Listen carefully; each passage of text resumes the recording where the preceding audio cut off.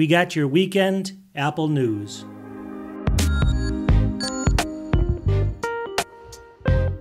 Welcome back to the channel. So if you're new here or if you're not new, you know what I do here. I go through about 20 different Apple stories over the weekend. I actually have a beer. I show you what I'm drinking first. You guys can sit back and relax and have whatever you're having.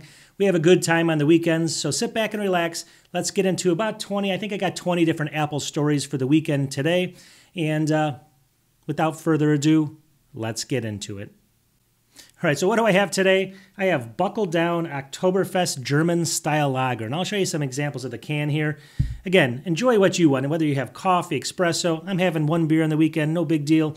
Anyways, I love Germany. It's probably a country, I've been there eight times now. I'm probably going to move there eventually. Um, I love Munich, actually, it's kind of Bavarian region. But this is an Oktoberfest. It says it's a German style lager, but it looks more like a Marzen, if you know what that is, for basically around Oktoberfest. Kind of dark, Pretty smooth though. Overall, it's pretty good. Buckle Down. It's out of Lyons, Illinois, so it's a, another local beer for me. Anyways, enjoy your cappuccino or whatever you're doing there on the weekends, and let's get into the Apple news. All right, story number one. We've heard this for a while. From Mac Rumors, it says MacBook with foldable display will actually have an 18.8 inch screen now. And this is the guy that's Ming-Chi Kuo. He's always wrong, it seems like, but here he is saying it again. But it says 2026 is when it's going to launch here. You can see it right there. And then down here, this is a little bit more. He's saying that it could be, it says, which he says it could be around the cost of the, the $3,400 Vision Pro down in this paragraph, which is really crazy. But he's thinking it's 18.8, 18.8 inches because it's going to then, when it's folded, match the, the size of a 13 or 14 inch MacBook, you know, MacBook basically. Now, overall though, I want to ask you a question. If you look at this thing here, it's saying it's going to have a digital or like a kind of a, a fake keyboard on the screen. Are you really going to buy something? First of all, if it's over three thousand bucks without a real keyboard and you're typing on a screen, I mean, it has to be phenomenally good and tons of feedback and stuff. I just don't see this happening. You're going to have to buy an extra extra keyboard for this as well. I don't think it's going to be, you know, I think some people might buy it like they do the Vision Pro, but I don't think many people are going to buy this. I think it's a waste of their time. I hope you're all having a good weekend. Anyways, I have some kind of cynical stories coming up here. They're funny. I love Apple that you can see this, so take it with a grain of salt. Let me have some good stories some new products and stuff. Anyways, here it is. AI, Apple Insider. Future iPads and iPhones could could tell stressed users to calm down. So I read this article. Apple is researching how to bring basically sensor technology to give iPads and iPhones the ability to detect stress in a user. All right. So you can see this screen here. You seem stressed. Try shaking this iPad. Anyways, it goes on to say down here that they have a patent basically. You can see this little patent. Apple puts out a lot of patents, but they have a patent that's basically going to be a stress meter. It's they actually have it. They're looking at it in the Vision Pro more because it can actually you know really measure a lot of stuff there. But then the iPad, I mean, first of all, do you does it even make sense for them to even worry about that? I guess shouldn't they just kind of keep in their lane? I, I don't know. I mean, I think they're becoming more. They want to become more of like a medical, some kind of a medical advisor or something like that. I just think it's the wrong path for them. I just think it's funny. I mean, the last thing I want to do is if I'm looking at an iPad, trying to relax from my day at work, is this thing have it come back and tell me I'm stressed, right? I mean, the only thing that really stresses me out with Apple a lot of times is when I go in to buy something and I see the cost is way up there. It stresses me out, but I still do it. Anyways, what do you think about this? All right, story number three is good and bad just because you have to wait maybe a little bit. Over here, it says OLED iPad mini in the works for launch of early 2026. This is from 9 to 5 Mac. So it says Samsung Display accelerates OLED business expansion for IT following the start of. So basically, it's just saying that they're seeing um, this production start now, and they think it's going to be suggesting a potential early launch here of 2026. So if you're looking for basically the iPad Mini, which a lot of people love, but you want the OLED or the new version of it, it's not going to be. It looks like it's not going to be next year, but it's going to be into 2026, probably the start of 2026. But if you're hoping for it to come out really soon, it doesn't look probable based off of this article here. Again, you got to take all this with a grain of salt. These are all rumors usually, but still, usually, you know, they have some reason why they're thinking this. All right, so for the next story, first of all, I want to just set it up. My last video I did, I kind of ruffled some feathers because I, obviously I put the, uh, the brand new Snapdragon X Plus and X Elite chips against the M3 chips, and then against the M4 chips, showing that M3's kind of beat it, but you know who knows? There's a lot of things going on here. The good news is everyone's winners. I said in that article because basically you know, it's good for everybody because it drives competition. So that's really good. But you always get the people that hate Apple and then people that hate Windows, and they're always arguing in the thread and stuff. So it's just funny. And it's just something exactly what this article says here. This article's title doesn't make a lot of sense, but I'll explain it. So this is from 9 to 5 Mac. It says Microsoft's MacBook Air is more like a MacBook Pro. So what this article is basically saying is people are comparing these chips and stuff, but they said that, oh, you you forgot to point out that basically there's fans in these new Snapdragon, you know, these Copilot, I guess they're called Copilot Surface devices. They're going to have fans in them, and they're comparing it against the Air, which doesn't have a fan. And here we come back to this whole thing where, again, the, the M3 chip loses slightly in a couple categories, but it beats it in a couple categories. And then the other M3 chips obviously beat the, you know, beat the uh, Snapdragon chips you know, pretty pretty good. So and then the four, the M4 coming out also will beat it. Long story short, though, it doesn't matter because people still complain about the littlest things I found. I mean, if you read the comments on my last video, go ahead and read them all. They're they're all like, I mean, people get so upset over it, it's crazy. And in the end of the day, I think we're all winners if we can just drive competition. I want Windows chips to be as good as they can, so Apple's can even be better. You tell me that is. I think that's the right way to think, right? Who knows? All right, so here's an article from 9 to 5 Mac. If you're wondering who the fastest major broadband provider is, take a look over here. So it's here's the, the title of, of the article here. So we're going to scroll down here.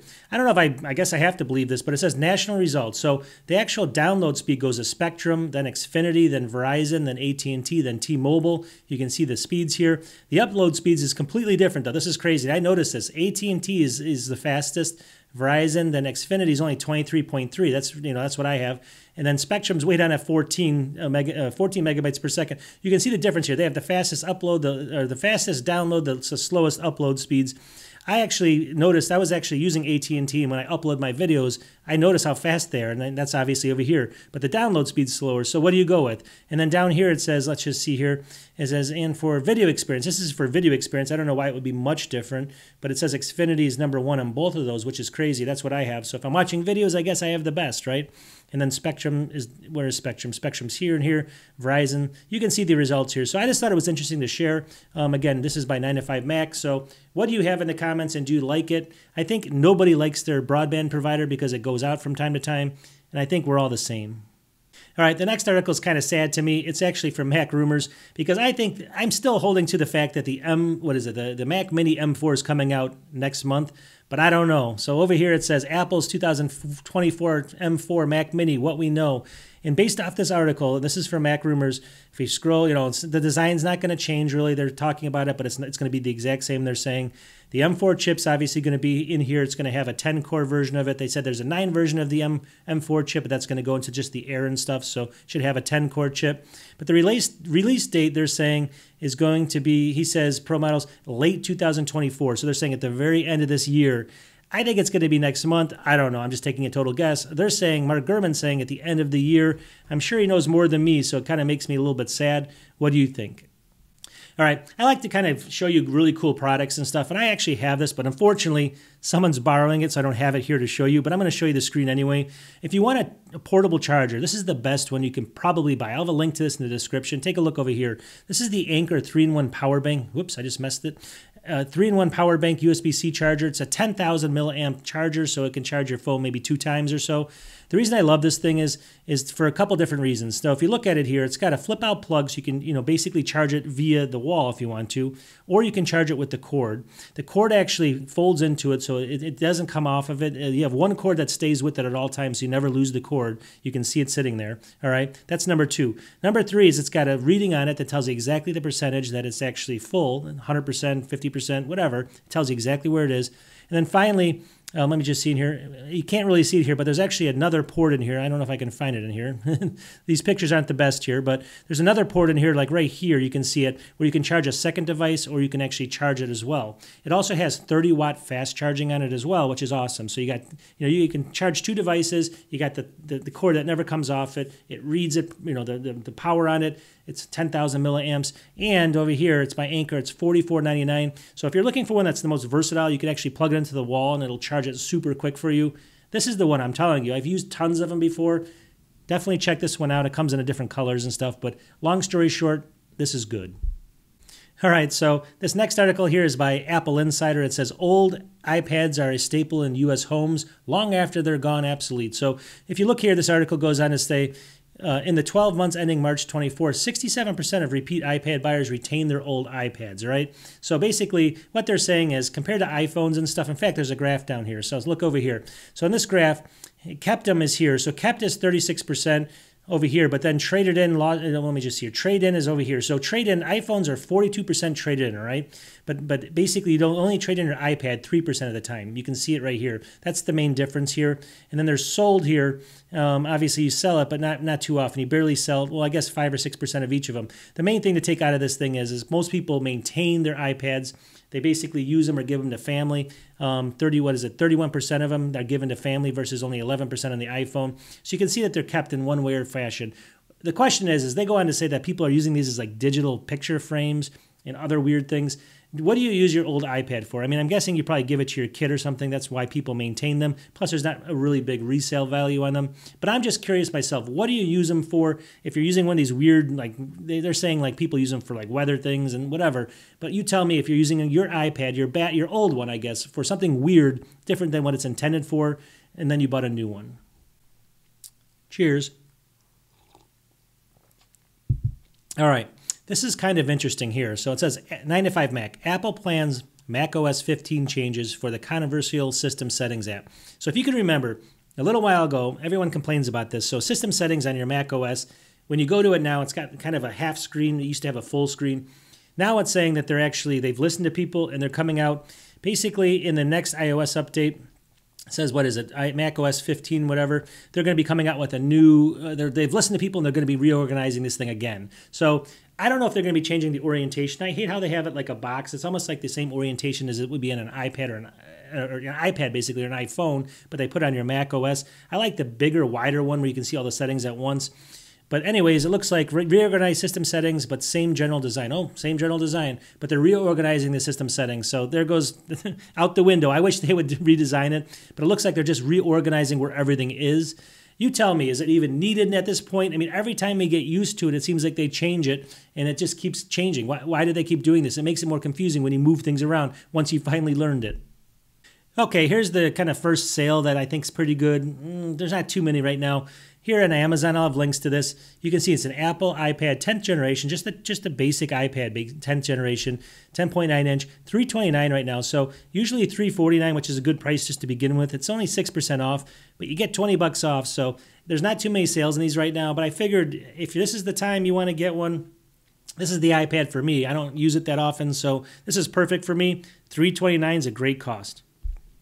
All right, so Apple does things that makes me scratch my head sometimes, and this is a, this is one of those things. Like, why why do this, right? So Apple puts out this list. It's called Apple's Music's Best 100 Albums list is done. So they listed the best 100 albums of all time, music, right, from Apple Music. So here it is, the article from Apple Insider, and uh, you can see right here, Lauryn Hill. So what does this mean? So we go down to this list here, right? The first one that they pick is Lauryn Hill. Now, I mean, I'm telling you right now, that's not the number one album of all time. And, uh, it might be good. I, I, don't I don't know, but but that's not the number one album all time. Then they go on to be Thriller, Michael Jackson, Abbey Road, Purple Rain, Blonde, Songs of a Key Life by Stevie Wonder. I mean, some of these things are very controversial. Obviously, Lemonade by Beyonce. I mean, come on now. Um, anyways, you, anyways, you get the idea. I'm not too happy with it. So at the end of the day, this is just something for just like my thing with the you know my last video where people are going to fight over it for until the death basically. And, you know i think that they're crazy for putting this out but i mean i guess it's just for fun. But i guess uh, if we're going to debate one thing is lauryn hill the best album of all time all right, the next article is funny because Apple products are pretty expensive to begin with. Over here from 9 to 5 Mac, it says, Welcome to the Ultra era where Apple is making iPhones, MacBooks, and iPads more luxury than ever. So obviously the Vision Pro is 3500 bucks. They're going to make this kind of like dual screen thing that's going to be around that same cost. But they're saying that they're going to come out with an iPhone Ultra soon, which is going to be more than kind of the, the Pro Max or whatever they have. So if you can imagine, they're saying that they're going to they're going to start doing this ultra ultra brand. I can't say that. Um, and uh, but you tell me now. I, I, again, I'm the person that buys the cheapest of all Apple products. I mean, I'll admit that I buy usually like one up. I buy 16 gigs of RAM or a 512 gigabyte SSD, but I'm not spending 4,000 on a laptop. Are you going to be? Are you even open for something like an ultra iPhone? I mean, do you need anything more than what they offer right now? Because I mean, isn't it enough as it is? You can pretty much do whatever you want on it. So why do you need an ultra? Maybe to flex. All right, so the next article over here is says this guy had the uh, the M4 iPad Pro. He used it for a couple weeks now, or a week or two, or whatever, and he came out with some conclusions. Um, if you guys hear a little noise in the background, it's starting to pour behind me, so a lot of rain noise. Um, anyways, it says one week in the one week with the M4 iPad Pro, full surprises. This is from 9 to 5 Mac again. So what did, what did he notice? What are the surprises he noticed? He said he says the 13 inch is much is a much better tablet than before. So he's saying that the 13 inch, because of the thinness now, makes it so that it's a lot easier to hold. Is that true? I'm not sure, but maybe right? Maybe it is. And then he goes on to say the Magic Keyboard is better. Now, I've seen some other things where they're saying it's very similar. He's saying the new Magic Keyboard is one of the best features that you can buy on this thing, and this is what makes it so much better. I don't know. Again, this is all subjective, but this is what he's saying. The, the, then he says the you know the Ultra Retina X, XDR display is brighter, which actually helps him outside, so I can maybe see that as well. But it's the last one that I kind of question. Well, it's not question, but it's funny. Exactly what I would have said. So he goes all the way down here and he says the M4 doesn't mean much to me. So he goes on to say that the M4 chip means basically nothing to him because the power in the last one was perfectly fine. So in any of his workflows, this doesn't seem any faster to him, which is funny because he's spending a lot of money for it. Um, that's kind of what I said. I mean, how much speed do you need on these things? I know that, again, I know the iPad users that are a very specific group, they're going to come after me and say, you know, they'll attack me. But I'm just saying the average user, obviously, or even above average, you don't need that much power. Who knows? All right, so for the next sale we got over here on Amazon, I'll have a link to this. Not bad. If you want a cheap Apple Watch, here's the Apple Watch SE second gen 40 millimeter. It's basically 249 uh, down. I'm sorry, down from 249 to 189. So you're getting what 24% off, almost 25% off the watch. That's unheard of for Apple. This is actually from the Apple Store too. I recommend this if you just want to dabble in it. Not a bad watch, obviously, for time and basic stuff like I like. I don't like. I'm, I'm never going to spend 800 bucks on a watch. But anyways, if you want to just get one for 189 bucks and check it out, now's the time. All right, one second, please. It's a pretty good Marzen for sure, although they call it a lager. Anyways, so the next article, these are both, the next two are tied into the same, so watch both of them. It says Apple wants all of TSMC's 2 nanometer chips, so they sent Jeff Williams in secret. This is from Apple Insider. Apple is preparing to start the production of the 2 nanometer chips here, and they sent COO Jeff Williams to Taiwan. That's a great trip, right? Right now, I don't know if you realize this, but right now, China has surrounded the entire island of Taiwan, and the, you know we don't know what's going on. Could it be the start of a war? We have no idea, right? That's a great trip to have to go out there right now. Number one. Number two, if you look at the next article over here, it says if China invades Taiwan, this is from Apple Insider, TSMC can can wreck Apple's chip production line remotely. So this is what worries me, right? Apple is surrounded Taiwan. Apple has about still 80 or 90 percent of all their production in China and also basically Taiwan with the chips and everything.